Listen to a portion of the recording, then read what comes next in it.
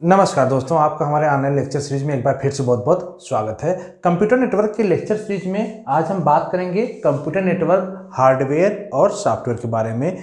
जैसा कि हमने प्रीवियस लेक्चर में डिस्कस किया था, एक ओवरव्यू बताया था आपको कंप्यूटर नेटवर्क क्या है, उसके गोल और अप्लीकेशंस के बारे में भी डिस्कशन किया था। तो वहाँ पर हमने कुछ एग्ज़ाम्पल लिया था कंप्यूटर नेटवर्क क्या हो सकता है। Means collection of autonomous computer होंगे, जो किसी न किसी मीडियम से या वायर्ड या वायरलेस कनेक्ट होंगे आपस में। वो आप प्रीवियस लेक्चर में जाके देखेंगे तो बहुत डिटेल में आपको मिल जाएगा। आज हम डिस्कस करेंगे जब आप कंप्यूटर नेटवर्क फॉर्म होगा एक तो उसमें ज़ाहिर सी बात है कुछ न कुछ हार्डवेयर कुछ न कुछ सॉफ्टवेयर की रिक्वायरमेंट पड़ेगी। तो उसी को हम डिटेल में डिस्कस करेंगे आ, कि कौन कौन से हार्डवेयर या कौन कौन से सॉफ्टवेयर इन्वॉल्व होते हैं कंप्यूटर की नेटवर्किंग में। डिटेल में चलने से पहले हम आपसे रिक्वेस्ट करेंगे कि अगर आप हमारे चैनल पर न्यू व्यूअर हैं या अभी तक हमारे चैनल को आपने सब्सक्राइब नहीं किया है तो प्लीज़ चैनल को सब्सक्राइब ज़रूर कर लें, क्योंकि कंप्यूटर नेटवर्क के लेक्चर सीरीज़ वाइज आपको इसी चैनल पे डे टू डे मिलते रहेंगे। तो चलते हैं डिटेल में और हम देखते हैं कि कौन कौन से हार्डवेयर या सॉफ्टवेयर हैं जो कंप्यूटर नेटवर्क में यूज़ होते हैं। There are two component of computer network one is hardware and another is software hardware कौन कौन से हो सकते हैं? हार्डवेयर आपका सर्वर हो सकता है। सर्वर मीन्स जैसे मैंने एग्जांपल लिया था कि एक कंप्यूटर लैब है आपका, जिसमें 20 कंप्यूटर हैं और वो आपस में कनेक्ट हैं तो उसमें से एक ऐसा कंप्यूटर होगा जो एज ए सर्वर का काम करता होगा। मीन्स जो एक तरह से पूरा ओवरऑल मैनेजमेंट देखता होगा। उसी को हम क्या कहते हैं? सर्वर इसके अलावा जो कंप्यूटर होते हैं, उन सबको हम क्लाइंट कंप्यूटर कह सकते हैं, जो इस सर्वर से कम्युनिकेट करते हैं। मीन्स कुछ रिक्वेस्ट रिस्पांस लेते हो सर्वर से, वो सारे क्या होंगे? क्लाइंट उसी को हम क्लाइंट कहते हैं। कुछ पीयर्स होते हैं पीयर्स भी आपके कंप्यूटर्स ही होते हैं, लेकिन पीयर्स जनरली हम ऐसे कंप्यूटर कहते हैं, जो कंप्यूटर टू कंप्यूटर कम्युनिकेशन करे, वो किसी सर्वर से डायरेक्टली कम्युनिकेट नहीं करता तो सबको हम पीयर्स कह सकते हैं। जैसे प्रिंटर है आपका तो प्रिंटर भी एक तरह से पीएच की कैटेगरी में आ सकता है। ट्रांसमिशन मीडियम जो ट्रांसमिशन मीडियम होगा मीन्स डेटा का ट्रांसमिशन या कम्युनिकेशन मीडियम होगा, वो दो तरीके से ही होगा आपका वायर्ड होगा या फिर वायरलेस तो यहाँ पे हार्डवेयर की ज़रूरत पड़ती है। अगर वायर्ड है तो ज़ाहिर बात है आपको केबल की ज़रूरत पड़ेगी। वायरलेस है तो आपको ज़ाहिर बात है वायरलेस डिवाइस की ज़रूरत पड़ेगी पड़ेगी, जो कि कम्युनिकेशन एक ट्रांसमिशन मीडियम प्रोवाइड करेगा। Second next router bridge hub repeaters gateway और स्विच। ये कई सारे आपके हार्डवेयर डिवाइसेस हैं जो कहीं ना कहीं कंप्यूटर नेटवर्किंग में यूज़ होता है। इन सब के डिटेल में फ़िलहाल आज के लेक्चर में हम नहीं जा रहे हैं। अपकमिंग लेक्चर में इन सबको वन बाय वन हम डिटेल में समझाएँगे कि इन सब की वर्किंग प्रिंसिपल क्या है। इन शार्ट अगर हम एक एग्ज़ाम्पल देखेंगे यहाँ पे तो मुझे यहाँ पे इन सब का हम यूज़ समझ में आ जाएगा कैसे कर रहे हैं। और फर्दर हम नेक्स्ट लेक्चर जब आएगा तो वहाँ पे इसको वन बाय वन काफ़ी डिटेल में कवर करेंगे। तो ये सब एक तरह से हार्डवेयर है जो कि कंप्यूटर नेटवर्किंग में आपका यूज़ होता है। सेकेंड सॉफ्टवेयर जब हार्डवेयर है तो ज़ाहिर सी बात है कुछ न कुछ सॉफ्टवेयर भी यूज़ होगा कंप्यूटर नेटवर्किंग में, जहाँ की सारा कंप्यूटर नेटवर्क में होंगे।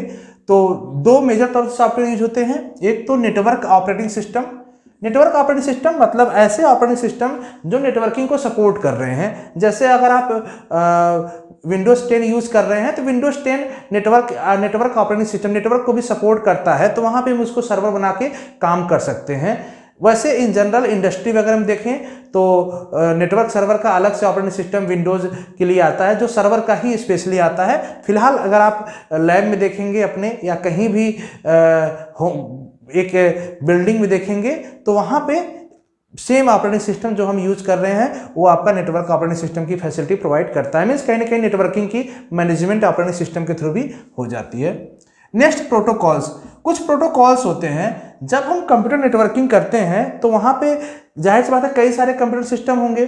तो उनके बीच में जब कम्युनिकेशन होगा मीन्स डेटा ट्रांसफ़र हो रहा है तो उस डेटा ट्रांसफ़र का या कम्युनिकेशन का कुछ प्रोटोकॉल्स होता है। Protocols means set of rules कुछ रूल्स रेगुलेशन होते हैं जिसको फॉलो करके ही आप कंप्यूटर नेटवर्किंग में डेटा ट्रांसफ़र या कम्युनिकेशन कर सकते हैं। तो दो तरह के दो मेजर तरीके के आ, आपके प्रोटोकॉल्स यूज़ होते हैं। TCP IP transmission control protocol internet protocol and OSI open system interconnection तो इस दोनों को हम बहुत डिटेल में भी अभी आएगा क्योंकि आ, मेजर अगर हम देखें तो फर्दर अपकमिंग लेक्चर में काफ़ी डिटेल में इसको हम इन दोनों को कवर करेंगे। वर्किंग भी दिखाएँगे कैसे दो सिस्टम पे कम्युनिकेशन हो रहा है या डेटा ट्रांसफ़र हो रहा है इन प्रोटोकॉल के साथ। फ़िलहाल दो सॉफ्टवेयर याद रखिएगा, नेटवर्क ऑपरेटिंग सिस्टम और प्रोटोकॉल सूट, जिसमें टी सी और ओएसआई का यूज़ होता है।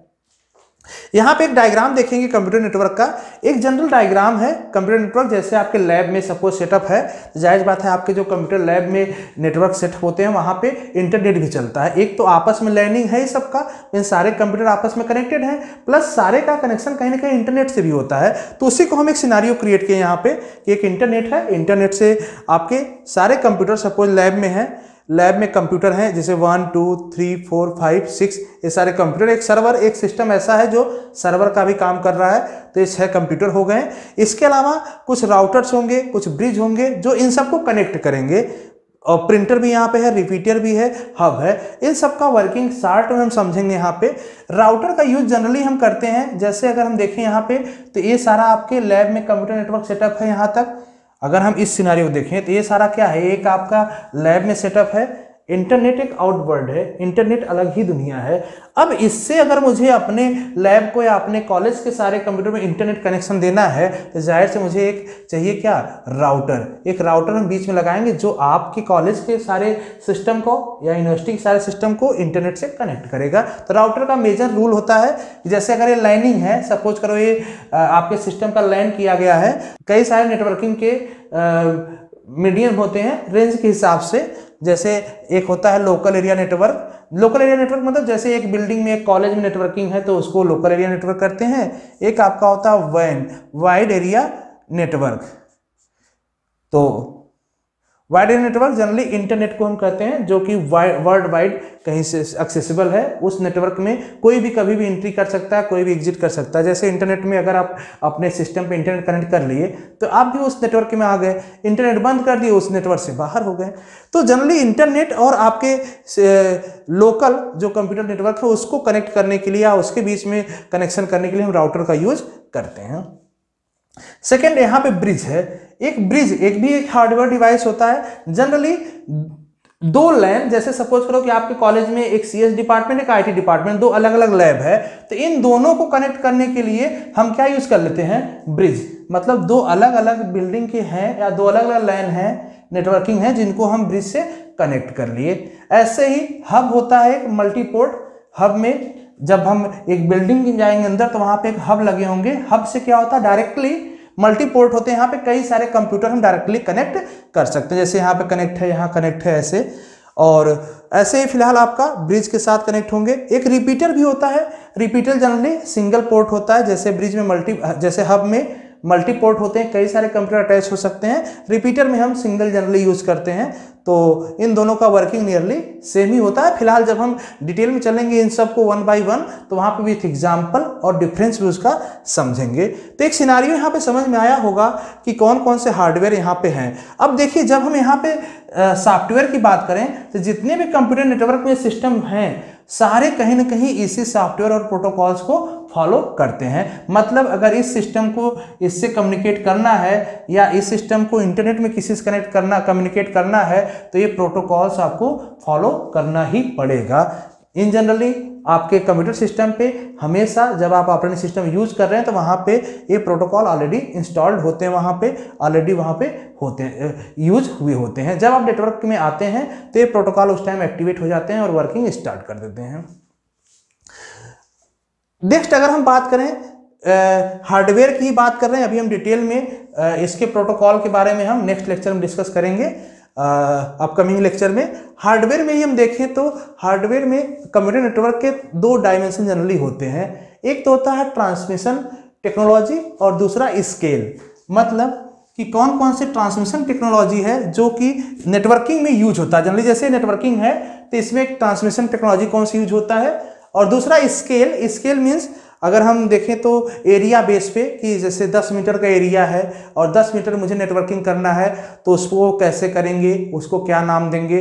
अगर एक किलोमीटर एरिया तक का मुझे नेटवर्किंग करना है कंप्यूटर का तो उसको हम क्या नाम देंगे? तो स्केलिंग यहाँ पे कुछ आएगा।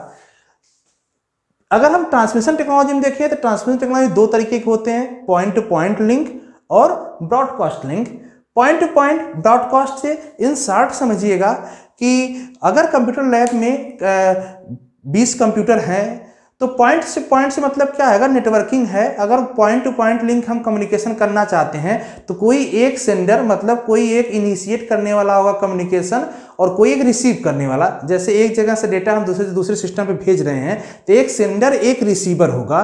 बीच में कई सारे सिस्टम हो सकते हैं कि इंटरमीडिएट के तौर पे यूज़ हो जाए, लेकिन रिसीवर और सेंडर सेंडर एक ही होगा। उसको हम यूनिकास्टिंग भी यहाँ पे कहते हैं। तो इसी को जनरली क्या कहते हैं? पॉइंट टू पॉइंट लिंक मतलब हर computer point to point link है, और एक से दूसरे पे हम डेटा सेंड कर सकते हैं। अगर ब्रॉडकास्ट में देखें तो ब्रॉडकास्टिंग में क्या होता है जनरली जो कम्युनिकेशन चैनल होता है उस एक ही कम्युनिकेशन चैनल होता है। जैसे 20 कंप्यूटर हैं तो 20 का कम्युनिकेशन चैनल एक ही होगा। अगर कोई एक कंप्यूटर उसमें से मैसेज सेंड करता है तो सारे कंप्यूटर को ब्रॉडकास्ट हो जाएगा। मतलब सिंगल सेंडर मल्टीपल रिसीवर हो जाएँगे वहाँ पे। रिसीवर सारे हो जाएँगे मतलब जितने भी कंप्यूटर नेटवर्क में हैं, सारे हो जाएँगे।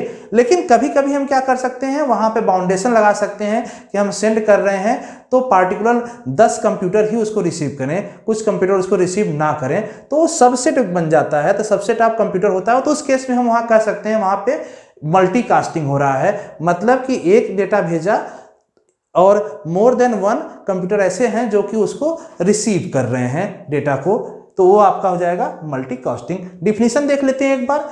Point to point link connect individual pairs of computers individual pairs देखिए मतलब जितने कंप्यूटर हैं सबका एक इंडिविजुअल पेयर बनेगा.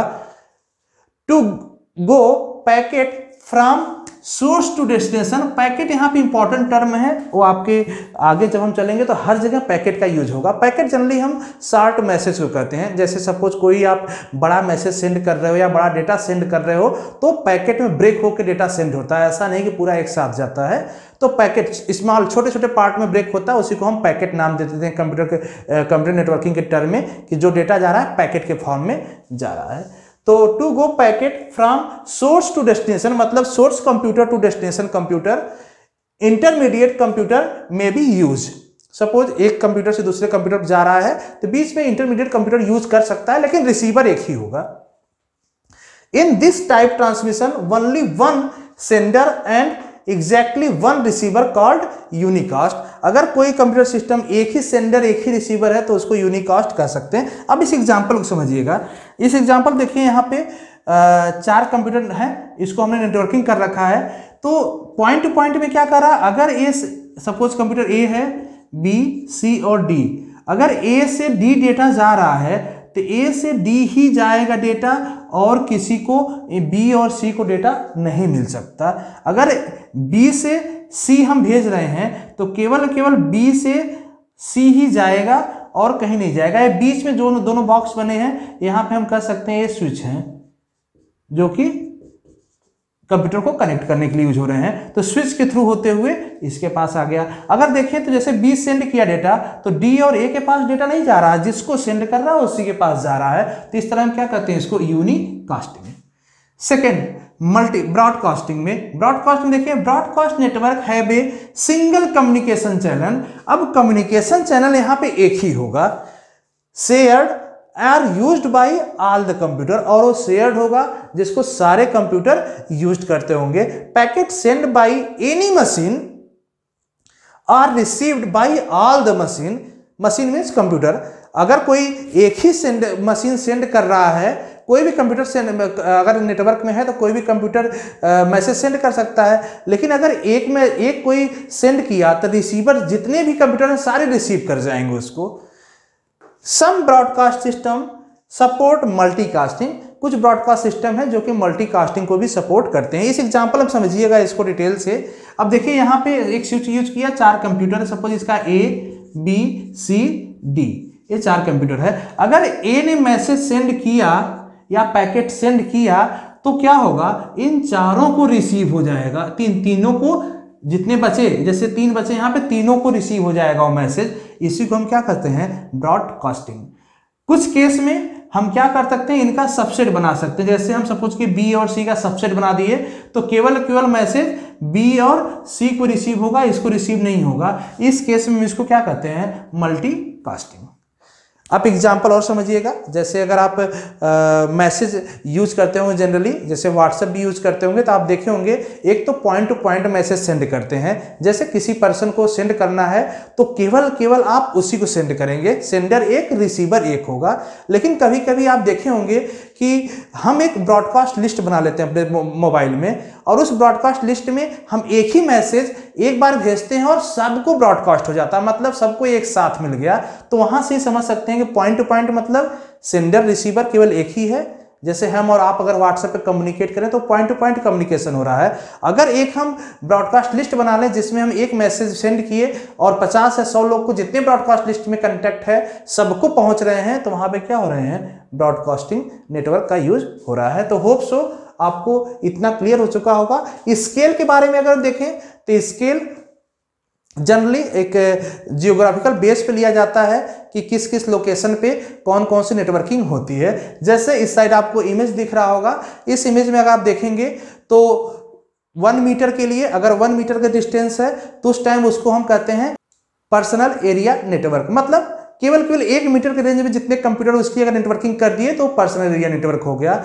और दूसरा देख सकते हैं इसमें कि अगर आपका आ, 10 मीटर 100 मीटर या एक किलोमीटर के रेंज में जितने भी हैं सारे कंप्यूटर को हम अगर कनेक्ट कर दे तो उसको हम कहते हैं लैन लोकल एरिया नेटवर्क जिसमें जैसे कह सकते हैं एक बिल्डिंग की पूरी या एक कॉलेज के पूरे कैंपस में जितने कंप्यूटर सबको लैन से कनेक्ट कर दिया जाए तो सारे क्या हो जाएँगे? लैन उसको हम कह सकते हैं। अगर हम 10 किलोमीटर से 10 किलोमीटर जाते हैं, जैसे 10 किलोमीटर 15 किलोमीटर तो वो सब क्या हो सकते हैं? एक सिटी मतलब एक पूरे शहर। एक पूरे शहर को हम अगर कंप्यूटर को कनेक्ट कर दें नेटवर्किंग कर दें तो उसको हम कहते हैं मैन एम ए एन जिसका फुल फॉर्म होता है मेट्रोपॉलिटियन एरिया नेटवर्क ऐसे ही अगर हम कंट्री लेवल पे या प्लानिट लेवल पे जितने कंप्यूटर सिस्टम हैं, सबको कंटेक्ट नेटवर्किंग में ऐड कर लें तो उसको हम कहते हैं वैन जिसका फुल फॉर्म है वाइड एरिया नेटवर्क ये सारे चीज़ किसमें आ जाते हैं? स्केल में। तो होप सो क्लियर हो चुका होगा। फर्दर अपकमिंग लेक्चर में हम देखें तो अभी प्रीवियस एक दो लेक्चर में जो बहुत सारे छोटे छोटे टर्म्स के बारे में डिस्कस किए थे, उसके बारे में हम डिटेल में डिस्कशन करेंगे। प्लस इसको भी जो अभी हम लैन मैन वैन की बात कर रहे हैं, इसको भी डिटेल में देखेंगे कि कैसे काम करता है और उसका एग्ज़ाम्पल क्या है। तो मिलते हैं नेक्स्ट लेक्चर में। Thank you so much.